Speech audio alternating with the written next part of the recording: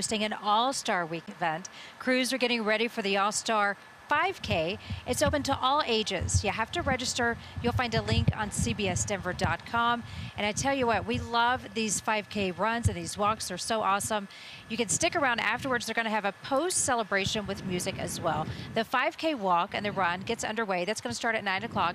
Playball Park is open until 8. And the high school home run derby starts at 1230. That is going to be at Coors Field.